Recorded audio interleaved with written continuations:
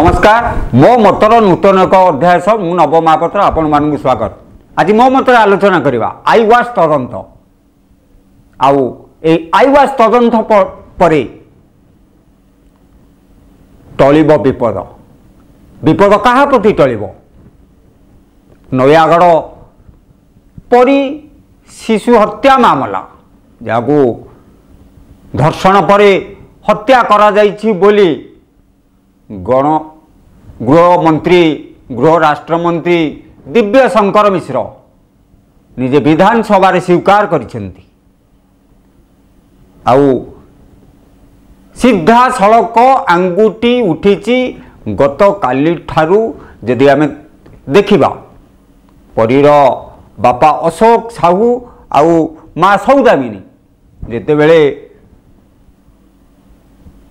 Human rights କଥା କୁହନ୍ତୁ ନ୍ୟାୟିକ ବ୍ୟବସ୍ଥା କୁହନ୍ତୁ ଏତେ ଦିନ ଧରି ଦୀର୍ଘ ସାଢ଼େ ଚାରି ମାସ ଧରି ଅପେକ୍ଷା କରିବା ପରେ କୌଣସି ଠାରୁ ଯେତେବେଳେ ନ୍ୟାୟ ପାଇଲେ ନାହିଁ କୋମଳମତି ଶିଶୁଟିଏ ତାକୁ ଅପହରଣ କରି ନିଆଗଲା। ଅପହରଣ କରିବା ବେଳର ଆଇ ୱିଟନେସ୍ ମଧ୍ୟ ଆଜିକା ଦିନରେ ଗଣମାଧ୍ୟମରେ ବୟାନ ରଖୁଛନ୍ତି ଏବଂ ସିଧାସଳଖ ଭାବରେ କହିବାକୁ ଗଲେ ସୌଦାମିନୀ ଏବଂ ଅଶୋକ ପରୀର ବାପା ମା ମଧ୍ୟ ଗଣମାଧ୍ୟମରେ ସିଧାସଳଖ ସ୍ଥାନୀୟ ବିଧାୟକ ତଥା କୃଷିମନ୍ତ୍ରୀ ଉଚ୍ଚଶିକ୍ଷା ମନ୍ତ୍ରୀ ଅରୁଣ ସାହୁଙ୍କୁ ଟାର୍ଗେଟ୍ କରୁଛନ୍ତି ଅରୁଣ ସାହୁଙ୍କର ଲୋକ।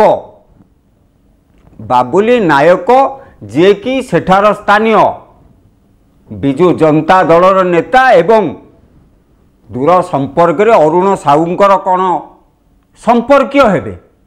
ଏବଂ ଯେଉଁ ସମ୍ପର୍କ ପାଇଁ ଅରୁଣ ସାହୁ ଆଜି ମଝିକି ଆସିଛନ୍ତି ଏବଂ ତାଙ୍କର ସମ୍ପୃକ୍ତି କଥା ଉଠୁଛି ଖାଲି ସେଇ କଥା ବି ନୁହଁ। ତା ସହିତ ଅରୁଣ ସାହୁଙ୍କର କେଉଁ ସମ୍ପର୍କ ରହିଛି? ବାବୁଲି ନାୟକ ଯାହାଙ୍କ ନାଁରେ ଗୋଟେ ସାଂଘାତିକ ଅଭିଯୋଗ ଆସିଛି ଯେଉଁ ଅଭିଯୋଗକୁ ଗଣମାଧ୍ୟମ ଭୁଲି ମଧ୍ୟ ଯାଉଛି ଯେ ସେ ଅଭିଯୋଗଟା ହେଲା ଶିଶୁମାନଙ୍କୁ ଚୋରି କରିବା ଶିଶୁମାନଙ୍କୁ ଚୋରି କରିସାରିଲା ପରେ ଶିଶୁମାନଙ୍କର ଧର୍ଷଣ କରିବା ସହିତ କୁଶ୍ଚିତ କାର୍ଯ୍ୟ କରିବା ସହିତ କୁକର୍ମ କରିବା ସହିତ ସେମାନଙ୍କର ଅଙ୍ଗ ପ୍ରତ୍ୟଙ୍ଗକୁ ର୍ୟାକେଟ୍ ମାଧ୍ୟମରେ ବିଭିନ୍ନ ଦେଶ କଥା କୁହନ୍ତୁ ବିଭିନ୍ନ ରାଜ୍ୟ କଥା କୁହନ୍ତୁ ଚାଲାଣ କରିବାର ଯେଉଁ ଅଭିଯୋଗ ବାବୁଲି ନାୟକଙ୍କ ନାଁରେ ଅଛି ଏବଂ ବାବୁଲି এইপাই নাঁটা আসবা পরে, অরুণ সাউঙ্ সহিত সম্পর্ক আসবা পরে এত বড় অভিযোগ অঙ্গ চোরি ভি এক সাংঘাতিক অভিযোগ অরুণ সাউঙ্ নাঁরে যোড়ি হয়ে যাইছি এবং সে সময়ের তমাম গণমাধ্যম সেটিং এবং তমাম বিরোধী সেটিং এবং এ তদন্ত কেবল আই ওয়াশ করা যাই এইপাই যে ঘটনাকে কীভাবে ভাবে চপেই দিয়া যাব ଯଦି ଘଟଣାର ପୃଷ୍ଠଭୂମି ଦେଖିବା ଛୁଆଟିକୁ ଅପହରଣ କରି ନିଆଗଲା ତତ୍କ୍ଷଣାତ୍ ପୋଲିସକୁ ଖବର ଦିଆଗଲା ପୋଲିସକୁ ଏତଲା ଦିଆଗଲା କିନ୍ତୁ ପୋଲିସ ବର୍ତ୍ତମାନ ସୁଦ୍ଧା କୌଣସି ପଦକ୍ଷେପ ଗ୍ରହଣ କଲା ନାହିଁ କିନ୍ତୁ ଛୁଆଟି ମରିବା ପରଠାରୁ ତା ବାପା ମା ଅଶୋକ ଏବଂ ସୌଦାମିନୀଙ୍କୁ ଅକଥନୀୟ ଅତ୍ୟାଚାର କରି ଚାଲିଛି ପୋଲିସ ଏବଂ ଏ କଥା ବି ସ୍ଥାନୀୟ ବିଧାୟକ ତଥା କ୍ୟାବିନେଟ୍ ପାହ୍ୟା ମନ୍ତ୍ରୀ ନବୀନ ସରକାର କ୍ୟାବିନେଟ୍ ପାହ୍ୟା ମନ୍ତ୍ରୀ ଅରୁଣ ସାହୁ ଏସବୁ ଘଟଣା ଜାଣି ମଧ୍ୟ ଚୁପ୍ ବସିଛନ୍ତି ଏବଂ ଯେଉଁଭଳି ଭାବରେ ଯଦି ଆମେ ଦେଖିବା ସରପଞ୍ଚଙ୍କ ସହିତ ସେ ଚାପରେ କୁହନ୍ତୁ କି ତାଙ୍କୁ ସାଲିସ କରିବା ପାଇଁ କୁହନ୍ତୁ ଯେଉଁ ସରପଞ୍ଚଙ୍କ ସହିତ ଗତ ନିର୍ବାଚନରେ ଅରୁଣ ସାହୁଙ୍କର ଏବଂ ସମ୍ପୃକ୍ତ ସରପଞ୍ଚଙ୍କର। ସରପଞ୍ଚଙ୍କ ସୌମ୍ୟ ରଞ୍ଜନ ପ୍ରଧାନ ଯାହାଙ୍କ ସହିତ ଅରୁଣ ସାହୁ କଥା ହେଇଛନ୍ତି ଲକ୍ଷ୍ମୀ ପ୍ରସାଦ ସ- ନୟାଗଡ଼ ଲକ୍ଷ୍ମୀ ପ୍ରସାଦ ପଞ୍ଚାୟତର ସରପଞ୍ଚ ସୌମ୍ୟ ରଞ୍ଜନ ପ୍ରଧାନ ଯାହାଙ୍କୁ ମଧ୍ୟ ଗତ ନିର୍ବାଚନରେ ଅରୁଣ ସାହୁ ସିଧାସଳଖ ଅ, ଲୋକ ଲଗେଇ ଆକ୍ରମଣ କରିଥିବାର ଅଭିଯୋଗ ମଧ୍ୟ ଆସିଥିଲା। ଠିକ୍ ସେହି ସରପଞ୍ଚଙ୍କ ସହିତ ଯେଉଁ ଅଡ଼ିଓ ଯେଉଁ ଫୋନ୍ ବାର୍ତ୍ତାଳାପର ଅଡ଼ିଓ ଏବେ ଭାଇରାଲ ହେଇଛି ତାକୁ ନେଇ ଉଠିଛି ଅନେକ ପ୍ରଶ୍ନ। ଏ ପ୍ରଶ୍ନ ସାରା ଓଡ଼ିଶାବାସୀ ଉଠେଇଛନ୍ତି ଏଇଥିପାଇଁ ଯେ ଅରୁଣ ସାହୁ ଏ ଘଟଣାକୁ ଚାପି ଦେବା ପାଇଁ କିଭଳି ଭାବରେ ଉଦ୍ୟମ କରୁଛନ୍ତି। ଏ ଅଡ଼ିଓ ଭଏସ୍ ହିଁ ବୟାନ କରୁଛି ଅରୁଣ ସାହୁଙ୍କର ସମ୍ପୃକ୍ତି। ଏ ଅଡ଼ିଓ ଭଏସ୍ ହିଁ ବୟାନ କରୁଛି ଅରୁଣ ସାହୁ କିଭଳି ଭାବରେ ଚାପ ପ୍ରୟୋଗ କରୁଛନ୍ତି? ଏ ଅଡ଼ିଓ ଭଏସ୍ ଆସିବା ପରେ ଶୁଣନ୍ତୁ। ଶୁଣନ୍ତୁ ଏ ଅଡ଼ିଓ ଭଏସ୍ କିଭଳି ଭାବରେ ଚାପ ପ୍ରୟୋଗ କରିବାକୁ କ୍ୟାବିନେଟ୍ ପାହ୍ୟାର ମନ୍ତ୍ରୀ ଅରୁଣ ସାହୁ ପଛାଇ ନାହାନ୍ତି। ଶୁଣନ୍ତୁ ଏବେ ଅଡ଼ିଓ ହ୍ୟାଲୋ ଭାଇ ପ୍ରଣାମ। ପ୍ରଣାମ ଯୋଉ କଥା ଗୁଡା କରୁଛୁ ଭଲ କରୁଛୁ ତ? ନା ମୁଁ ଭାଇ ସେଗୁଡା ମୁଁ କରୁଛି ତୁ ଯେତିକି କହୁଛୁ ସେ ସେତିକି କହୁଛି। ମୁଁ ସବୁ ଜାଣୁଛି ମୁଁ ଚୁପ୍ ଅଛି ନାହିଁ କିଛି ଭାଇ, କହୁନି। ଭାଇ ସେ ସେଗୁଡା ସେମିତି ନାହିଁ। ନାଇଁ ଟିକେ ଲିମିଟେସନ ବାହାରକୁ ପଳେଇଲୁଣୁ ତୁ। ନାଇଁ ଭାଇ ଆପଣ ସେମିତି ଭାବୁଛନ୍ତି ମୁଁ ଆପଣ ଯଦି କହିବେ ମୁଁ ତା ବାପା ମାକୁ ନେଇକି ଯିବି ନହେଲେ ଆପଣଙ୍କ ପାଖକୁ ଆପଣ ଭାବୁଛନ୍ତି ଯଦି। ତୁ କରଉଛୁ ସେ କଥା ବୋଲି ସେ କହୁଛି? ନା ମ ଆପଣ ଯଦି କହୁଛନ୍ତି ମୁଁ ନେଇକି ଯିବି। ଆପଣ କହୁ- କହୁନାହାନ୍ତି କାଲି ଯିବି ନା ଆଜି? ଏ- ଏଇଟା ଏଇଟା କଣ ଠିକ କଥା ହଉଛି ନା? ମୁଁ ମୁଁ ଭାଇ ଆପଣ କାହିଁ କହିବି ବେକାରଟା ସେଇ ଜିନିଷ ଗୁଡା ଅଯଥାରେ ମୁଁ କାହିଁ କହିବି? ନାଇଁ ନାଇଁ ମୁଁ ତ ତତେ କେତେବେଳେ କିଛି କହିନି ନା, ନା। ତତେ ତ ତତେ ପ୍ରଶଂସା କରି ତତେ ଭଲ କହିଛି ନାଇଁ। ତୋ କଥା କରିଛି। ହୁଁ। ତୁ ଏଇ କଥାଟା କାହିଁ କରୁଛୁ? ମୁଁ ମୁଁ ଭାଇ ଆପଣଙ୍କୁ ମାନେ ପ୍ରମିସ କରିକି କହୁଛି ମୁଁ ସେ ଜିନିଷ ମୋଟରୁ ମ, ସେଥିରେ ପ୍ରସୟ ହଉନି।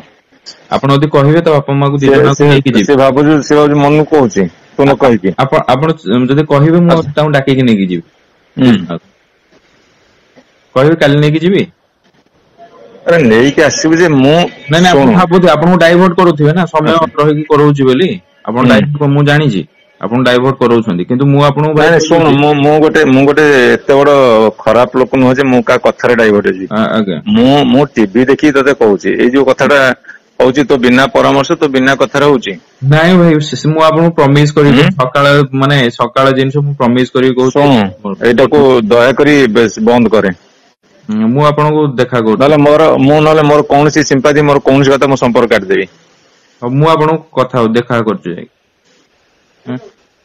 ଦେଖା କରୁଛି ଆପଣଙ୍କୁ। ଶୁଣିଲେ ଅଡ଼ିଓ ଯେଉଁ ଅଡ଼ିଓରେ ସିଧାସଳଖ ଭାବରେ ମନ୍ତ୍ରୀ ଲକ୍ଷ୍ମୀ ପ୍ରସାଦର ସରପଞ୍ଚ ସୌମ୍ୟ ରଞ୍ଜନ ପ୍ରଧାନଙ୍କୁ ଯେଉଁ ଭାଷା ପ୍ରୟୋଗ କରିଛନ୍ତି ଏବଂ ଘଟଣା ବାବଦରେ ସବୁ ଅଗବତ ସବୁ ଜାଣି ଯଦି ସରପଞ୍ଚଙ୍କୁ ଫୋନ୍ କରିପାରୁଛନ୍ତି ତେବେ ଏଇଠି ତ ସାରା ଓଡ଼ିଶାବାସୀଙ୍କ ମନରେ ପ୍ରଶ୍ନ ଉଠୁଛି ଯଦି କ୍ୟାବିନେଟ୍ ପାହ୍ୟାର ମନ୍ତ୍ରୀ ନବୀନ ବାବୁଙ୍କର ମନ୍ତ୍ରୀ ଅରୁଣ ସାହୁ ଯଦି ସରପଞ୍ଚକୁ ଫୋନ୍ କରିପାରୁଛନ୍ତି କାହିଁକି ଜିଲ୍ଲା ଏସ୍ପିଙ୍କି ଫୋନ୍ କରିପାରିଲେ ନାହିଁ? ତଦନ୍ତ କିଭଳି ଗଲା? ତଦନ୍ତ କ'ଣ ହେଲା? କାହିଁକି ଛୁଆଟି ମରିଗଲା? ଯେଉଁ ଆଉ ଟିକି ଛୁଆଙ୍କ କଥା ନାହିଁ ସାରା ଭାରତ ବର୍ଷରେ ପୋସ୍କ ଆଇନ ଅଣାଗଲା ଏବଂ ସେମାନଙ୍କୁ କିଭଳି ସୁରକ୍ଷା ଦିଆଯିବ ଯେଉଁ ସୁରକ୍ଷା କଥା ଉଠିଲା ଶିଶୁମାନ କିଭଳି ନା ଯେଉଁ ଶିଶୁ କନ୍ୟା ଯେଉଁମାନଙ୍କୁ ଏଇଭଳି ଭାବରେ ହତ୍ୟା କରାଯାଉଛି ଏଇଭଳି ଭାବରେ ଅମାନୁଷିକ ଭାବରେ କୁକର୍ମ କରାଯାଉଛି ତାକୁ ରୋକିବା ଦିଗରେ ଜିଲ୍ଲା ପୋଲିସ ଯାହା ପଦକ୍ଷେପ ନେଲା ବୋଧହୁଏ ଅରୁଣ ବାବୁ ତାକୁ ସମର୍ଥନ କଲେ କିମ୍ବା ଚାପ ପ୍ରୟୋଗ କରି ତାକୁ ଦବାଇ ଦେବା ପାଇଁ ନିଶ୍ଚିତ ରୂପେ ଅ, ପ- ଚେଷ୍ଟା କଲେ ଏବଂ ଯାହାର ଫଳସ୍ୱରୂପ ଆଜି ଯେଉଁ ଅଡ଼ିଓ ଟେପ୍ ଆସିଛି ଏ ଅଡ଼ିଓ ଟେପ୍ ହିଁ ବୟାନ କରୁଛି ଅରୁଣ ବାବୁଙ୍କର ଭିତିରି କଥାର ସମ୍ପର୍କକୁ ଏବଂ ଯାହା ମଧ୍ୟ ଆଶା କରାଯାଉଥିଲା ଯାହା ମଧ୍ୟ ବିରୋଧୀମାନଙ୍କର ଯେଉଁ ଚାପ ଥିଲା ଚାପ ଏବଂ ରାଜ୍ୟବାସୀଙ୍କର ଚାପ ଗଣମାଧ୍ୟମର ଚାପ ସବୁକୁ ଆଇୱାସ କରିବା ପାଇଁ ରାଜ୍ୟ ସରକାର ସିଧାସଳଖ ଭାବରେ କ୍ରାଇମବ୍ରାଞ୍ଚ ତଦନ୍ତ ଦେଲେ।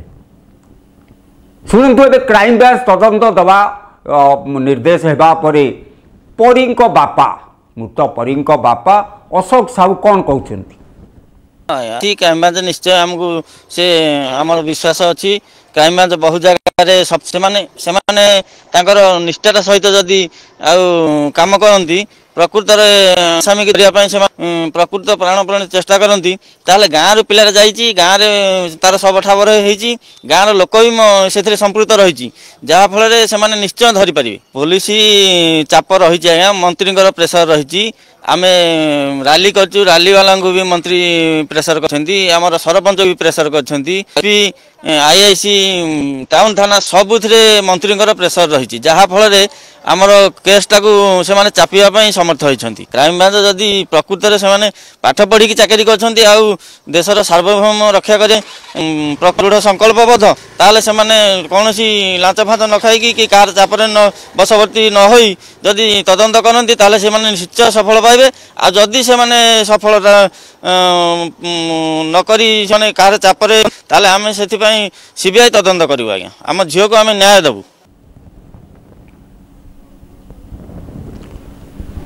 ବିରୁଦ୍ଧ ଏବେ ଏବେ ସିଧାସଳଖ ଭାବରେ କହିଲେଣି ଯେ ଯେଉଁ କ୍ରାଇମବ୍ରାଞ୍ଚ ତଦନ୍ତ ଦିଆଯାଇଛି ଏ ତଦନ୍ତ କେବଳ ଆଇୱାସ୍ କରିବା ପାଇଁ। ଯଦି କ୍ରାଇମବ୍ରାଞ୍ଚର ପାରଦର୍ଶିତା ପାରିବା ପଣିଆ କାପାବିଲିଟି এই ଯେଉଁ ବାହାଦୁରର କଥା ଏକ୍ସଲେଣ୍ଟର କଥା ଯଦି କ୍ରାଇମବ୍ରାଞ୍ଚରେ ଆସିବ ତେବେ ଦୁଇ ହଜାର ସାତ ମସିହାରୁ ଦୁଇ ହଜାର କୋଡ଼ିଏ ମସିହା ପ- ଭିତରେ ଚାରିଶହ କୋଡ଼ିଏଟି କେସ୍ କ୍ରାଇମବ୍ରାଞ୍ଚକୁ ଦିଆଯାଇଛି। ଏବଂ ସବୁ ହାଇ ପ୍ରୋଫାଇଲର କେସ୍ ଦିଆଯାଇଛି। ଯଦି ଇତିଶ୍ରୀ ମାମଲା କଥା କୁହନ୍ତୁ କୁଣ୍ଡୁଲି ମାମଲା କଥା କୁହନ୍ତୁ ବେବିନା ପିପିଲି ବେବିନା କଥା କୁହନ୍ତୁ ଦଙ୍ଗାପାଟଣା ଜମି ମାମଲା କଥା କୁହନ୍ତୁ କି ଖଣି କଥା କୁହନ୍ତୁ? ଯେଉଁ ଘୋଟାଲାକୁ ନେଇ ସାରା ପୃଥିବୀ ଏବେ ହୁଲସ୍ତୁଲ ଖଣି ମାମଲା। ସବୁ ତଦନ୍ତର ମୁଖ୍ୟ କାର୍ପଟଦାର। ସବୁ ଘଟଣାକୁ ଚାପି ଦେବାର ମୁଖ୍ୟ କାର୍ପଟଦାର କ୍ରାଇମବ୍ରାଞ୍ଚ ଚାରିଶହ କୋଡ଼ିଏଟି କେସ୍ ମଧ୍ୟରୁ ମାତ୍ର ଶହେ ତେୟାଅଶୀଟି କେସ୍ରେ ଚାର୍ଜସିଟ୍ ଭରିବାରେ ଚାର୍ଜସିଟ୍ ଦାଖଲ କରିବାରେ କ୍ରାଇମବ୍ରାଞ୍ଚ ସକ୍ଷମ ହୋଇଛି। ଯଦି ଏବେ ଗୋଟିଏ ନଜିର ପକାଇବା କ୍ରାଇମବ୍ରାଞ୍ଚର ତଦନ୍ତ ଉପରେ ଏବେ ଏବେ ମାନବ ପ୍ରେମୀ ଆଦିତ୍ୟ ଦାସ ଙ୍କ ମୃତ୍ୟୁ ଘଟଣାରେ ସିଧାସଳଖ ଭାବରେ କ୍ରାଇମବ୍ରାଞ୍ଚ ତଦନ୍ତ କୁ- ଆଙ୍ଗୁଳି ନିର୍ଦ୍ଦେଶ କଲେ ଓଡ଼ିଶା ହାଇକୋର୍ଟ। ବିଭିନ୍ନ କଥା କୁହନ୍ତୁ କୁଣ୍ଡୁଲି କଥା କୁହନ୍ତୁ ସବୁ ଘଟଣାରେ କ୍ରାଇମବ୍ରାଞ୍ଚ ହିଁ ତଦନ୍ତ କରେ ଏବଂ କ୍ରାଇମବ୍ରାଞ୍ଚ ତଦନ୍ତର ଦିଗ ଦିଗହରା ହୋଇଯାଏ ଏବଂ ନେତାମାନଙ୍କର ସମ୍ପୃକ୍ତିକୁ ପୁରା ଶତ ପ୍ରତିଶତ ସୁରକ୍ଷା ଯୋଗାଇ ଦିଆଯାଏ। ଦଙ୍ଗାପାଟଣା ଜମି କଥା ଆଦି କହିବା ଦଙ୍ଗାପାଟଣା ଜମିରେ ସିଧାସଳଖ ଭାବରେ ସେତେବେଳେ ସ୍ୱର୍ଗତ କଳ୍ପତରୁ ଦାସଙ୍କ ନାଁ ଉଠିଥିଲା। ବିଜେପିର ମଧ୍ୟ କିଛି ନେତାଙ୍କ ନାଁ ଉଠିଥିଲା। କ୍ରାଇମବ୍ରାଞ୍ଚ ତଦନ୍ତ ନିର୍ଦ୍ଦେଶ ଦିଆଗଲା। ତାର ମଧ୍ୟ ଫଳ ଶୂନ ଆସିଲା। ଯଦି ସେହି ଅରୁଣ ସାହୁଙ୍କ କଥା କହିବା ଅରୁଣ ସାହୁଙ୍କ ମନ୍ତ୍ରିତ୍ୱ କାଳରେ ବିଧାୟକ ରହିବା କାଳରେ ସେ ଆଇନ ମନ୍ତ୍ରୀ ଥିବାବେଳେ ପୁରୀ ବ୍ରହ୍ମ ବିଭ୍ରାଟ କଥା କୁହନ୍ତୁ କି ଦାରୁ ଚୟନ କଥା କୁହନ୍ତୁ ସେ তদন্ত কথা কুহতু তদন্ত কমিশন কথা কুহতু চাবি হজিবা কথা কুহতু কি সুপ্রিমকোর্টর নির্দেশে মন্দিরর সুপরিচালনা কথা কুহতু সবুঠি অরুণ বাবুঙ্কর ছাপ নিশ্চিত রয়েছে। ছাপ রয়েছে ক্রাইমব্রাঞ্চের আউ গোটিয়ে তদন্তর কথা তাঁক বাসভবনে সরকারি বাসভবনের ছবি বর্ধন নামক জন যুবক যিয়েকি তাঙ্ক অঞ্চলর ତାଙ୍କର ମୃତଦେହ ଗଛରୁ ଉଦ୍ଧାର ହେବା ଏବଂ ଘଟଣାକୁ ଚପେଇ ଦେବା ପାଇଁ ସେତେବେଳେ ସରକାର ମଧ୍ୟ କ୍ରାଇମବ୍ରାଞ୍ଚ ତଦନ୍ତ ଦେଇଥିଲେ ଯାହାର ଫଳ ଆଜିକା ଦିନରେ ମଧ୍ୟ ଶୁଣ ଏବଂ ପୁରା ଘଟଣାକୁ ଯଦି ଦେଖାଯିବ ତେବେ ଗୋଟିଏ କଥା ସାମ୍ନାକୁ ଆସୁଛି ଗୋଟେ ପଟେ ସରକାର ନାରୀ ଶିଶୁ ମହିଳା ନାବାଳିକା ଏମାନଙ୍କର ସୁରକ୍ଷା ଦିଗରେ ଯେଉଁ ଭାଷଣ ବାଜି ମାରୁଛନ୍ତି ତାହା ବାସ୍ତବରେ ସତ କେତେ ମିଛ କେତେ ସାରା ଓଡ଼ିଶାବାସୀ ଦେଖୁଛନ୍ତି ଯେଉଁଠି ସାରା ଓଡ଼ିଶାର ଓଡ଼ିଶାର ଉଚ୍ଚ ଶିକ୍ଷା ବିଭାଗର ମନ୍ତ୍ରୀ ସ୍ଥାନୀୟ ବିଧାୟକ ଜଣେ ସରପଞ୍ଚକୁ ଫୋନ୍ କରି ତାଗିଦା କରିପାରୁଛନ୍ତି କିନ୍ତୁ ତଦନ୍ତ ପାଇଁ ଦିନେ ଏସ୍ପିକି ଫୋନ୍ କରିନାହାନ୍ତି ଯଦି ଏସ୍ପିକି ଫୋନ୍ କରିଛନ୍ତି ଗଣମାଧ୍ୟମରେ ଆସି ବୟାନ ଦେବାର ଆବଶ୍ୟକତା ଅଛି ଯେ ମୁଁ ଏସ୍ପିକି ଫୋନ୍ କରିଛି ଏସ୍ପିକି ଡାକି କହିଛି ଯଦି ଏସ୍ପି ତଦନ୍ତ କରୁନାହାନ୍ତି ପୋଲିସ ବିଭାଗ ତଦନ୍ତ କରୁନାହିଁ ତେବେ ଅରୁଣ ବାବୁ କେବେ ମୁଖ୍ୟମନ୍ତ୍ରୀଙ୍କି କି ଗୃହ ରାଷ୍ଟ୍ରମନ୍ତ୍ରୀଙ୍କୁ ଏ ଦିଗରେ ଅବଗତ କରାଇଛନ୍ତି କି ଯଦି କରାଇ ନାହାନ୍ତି କିନ୍ତୁ ଏ ଦିଗରେ ଯେଉଁ ବିଶ୍ୱାସ ଦେବାର କଥା ଜଣେ ସ୍ଥାନୀୟ ବିଧାୟକ ଭାବରେ ତାର ଓଲଟା ପ୍ରତିଫଳନ ହେଇଛି। ଏଇଥିପାଇଁ ଆମେ କହୁଛୁ ଯେ ଯଦି ଗଣମାଧ୍ୟମର ପ୍ରତିନିଧିମାନେ ସେ ଗାଁକୁ ଯିବେ କୌଣସି ପୁରୁଷଙ୍କ କଥା କୁହନ୍ତୁ କୌଣସି ମହିଳାଙ୍କ କଥା କୁହନ୍ତୁ କେହି ଗଣମାଧ୍ୟମ ସାମ୍ନାକୁ ଆସି ବୟାନ ଦେବା ପାଇଁ ପଛ ଘୁଞ୍ଚା ଦେଉଛନ୍ତି ଅଶୋକ ଏବଂ ସୌଦାମିନୀ। ପରୀର ବାପା ମାଙ୍କର ଅବସ୍ଥା ମଧ୍ୟ ଏବେ ନ କହିବା ଭଲ। ଏବଂ ଗାଁକୁ ଯିବା ତାଙ୍କ ପାଇଁ ବିପଦ ହୋଇଯାଇଛି। ପୋଲିସ ସେମାନଙ୍କର ପିଛା ଛାଡ଼ୁନାହିଁ ପୋଲିସ ସେମାନଙ୍କୁ ଅତ୍ୟାଚାର କରିଛି ମାନସିକ ଭାବରେ ଶାରୀରିକ ଭାବରେ ଏବଂ ଏ କଥା ମଧ୍ୟ। ଗଣମାଧ୍ୟମରେ ଅଶୋକ ସାହୁ ବାରମ୍ବାର କହିବା ସତ୍ତ୍ୱେ ମଧ୍ୟ କୌଣସି ସୁରକ୍ଷା ସେମାନଙ୍କୁ ଯୋଗାଇ ଦିଆଯାଏ ନାହିଁ ଏବଂ ସେମାନେ ଯେଉଁଭଳି ଭାବରେ ଏଠି ସେଠି ବୁଲୁଛନ୍ତି ଏବଂ ତାଙ୍କ ଜୀବନ ଶିଶୁଟି ଚାଲିଗଲା ଶିଶୁ ନ୍ୟାୟ ପାଇବ ସେ ଗୋଟେ ଭିନ୍ନ କଥା କିନ୍ତୁ ଏମାନଙ୍କର ଅଶୋକ ବାବୁ ସୌଦାମିନୀଙ୍କର ଜୀବନ ବର୍ତ୍ତମାନ ଦୁର୍ବିଷ ହୋଇଯାଇଛି। ତାଙ୍କ ଉପରେ ବର୍ତ୍ତମାନ ଏମାନଙ୍କର ନାଲି ଆଖି ଏବେ ବି ରହିଛି ଏବଂ ଯାହା ସେ ଗ୍ରାମବାସୀଙ୍କର ବୟାନ ଦେରୁ ଶୁଣିବାକୁ ମିଳୁଛି। ଏବଂ ଗୃହ ରାଷ୍ଟ୍ରମନ୍ତ୍ରୀ ଦିବ୍ୟଶଙ୍କର ମିଶ୍ର ମଧ୍ୟ ଆଜି ବିଧାନସଭାରେ କହିଛନ୍ତି ତେୟାଳିଶ ଜଣଙ୍କର ସାକ୍ଷୀଙ୍କର ବୟାନ ରେକର୍ଡ କରାଯାଇଛି ଏବଂ ଗାଁ ଲୋକ ମଧ୍ୟ ଗାଁରେ ରହିବାକୁ ଡରୁଛନ୍ତି ପୋଲିସ ସେମାନଙ୍କୁ ଉଠେଇ ନେଇଯାଉଛି ଲାଇ ଡିଟେକ୍ଟିଂ ଟେଷ୍ଟ ନା କଥା କୁହନ୍ତୁ ସାକ୍ଷୀ ଦେବା କଥା କୁହନ୍ତୁ ଅନେକ ଲୋକଙ୍କୁ ନେଇ ସାକ୍ଷୀ ନାଁରେ ପୋଲିସ ସେମାନଙ୍କୁ ନିର୍ଯାତନା ଦେଉଛି ବୋଲି ଯେଉଁ ଅଭିଯୋଗ ହେଉଛି। କିନ୍ତୁ ବାବୁଲି ନାୟକକୁ ଧରିବାରେ ପୋଲିସ ସକ୍ଷମ ହେଉନାହିଁ। ଏତେ ଦିନ ଏତେ ମାସ ବିତି ଯାଉଛି ଚାପ ବଢ଼ୁଛି। କିନ୍ତୁ ପୋଲିସ ବାବୁଲି ନାୟକ ପାଖରେ ପହଞ୍ଚିବାରେ ସକ୍ଷମ ହେଉନାହିଁ। ଏଇଥିପାଇଁ ଯେ ବାବୁଲି ନାୟକ ଏବଂ ଅରୁଣ ସାହୁଙ୍କ ମଧ୍ୟରେ ସମ୍ପର୍କ ଏତେ ନିବିଡ଼ ଯେଉଁଥିପାଇଁ ଅରୁଣ ସାହୁ ମଧ୍ୟ ଯେଉଁ ଭାଇରାଲ ଭିଡ଼ିଓ ମାଧ୍ୟମରେ ଚାପ ଯେଉଁ ସୃଷ୍ଟି କରୁଛନ୍ତି ବୋଲି ଯେଉଁ ଅଭିଯୋଗ ହୋଇଛି ଏ ଭାଇରାଲ ଭିଡ଼ିଓ ହିଁ ବୟାନ କରିଛି। ଯେ ଅରୁଣ ସାହୁଙ୍କର ସମ୍ପୃକ୍ତି କଥା କିଛି ବି ଘଟିବ ନାହିଁ। ଆଇୱାସ ତଦନ୍ତ ଏବଂ କାଲି ପର୍ଯ୍ୟନ୍ତ ବିପଦ ଥିଲା। ଏ କଥାକୁ ରାଜ୍ୟ ଶାସକ ଦଳ କଥା କୁହନ୍ତୁ କି ସରକାରଙ୍କ କଥା କୁହନ୍ତୁ। ନବୀନ ବାବୁ ଆସିବା ଦିନଠାରୁ ଆଜି ପର୍ଯ୍ୟନ୍ତ ଯେତେ ସବୁ ଏଇଭଳି ଘଟଣା ଘଟିଛି କୌଣସି ଘଟଣାକୁ ନେଇ ନବୀନ ବାବୁ କେବେ ବିବ୍ରତ ହୋଇନାହାନ୍ତି ଏବଂ ତାଙ୍କ ସରକାରରେ ଥିବା ମନ୍ତ୍ରୀଙ୍କ କଥା କୁହନ୍ତୁ ବିଧାୟକଙ୍କ କଥା କୁହନ୍ତୁ କି ଅଫିସରଙ୍କ କଥା କୁହନ୍ତୁ। ଯାହାଙ୍କ ନାଁରେ ଦୁର୍ନୀତି କଥା କୁହନ୍ତୁ କି ଏଇଭଳି ସଙ୍ଗୀନ ଅଭିଯୋଗର କଥା ଆସେ। ନବୀନ ବାବୁ ଚୁପ୍ ରୁହନ୍ତି ଏବଂ ଚୁପ୍ ରହିବା ପାଇଁ ପରାମର୍ଶ ଦିଅନ୍ତି। ଚୁପ୍ ହିଁ ଏକମାତ୍ର ରାସ୍ତା ରହିଛି ସରକାରଙ୍କ ପାଇଁ। କିଛି ଦିନ ବିରୋଧୀ ହୋହାଲା କରିବେ କିଛି ଦିନ ଗଣମାଧ୍ୟମ ହୋହାଲା କରିବେ ତାପରେ ସମସ୍ତେ ଚୁପ୍ ହେଇଯିବେ ଏବଂ ଏଇ ଯେଉଁ ତଦନ୍ତ ନାଁରେ ଏହା ଏକ ଭେଳିକି ପାଟ- ପାଲଟିବ।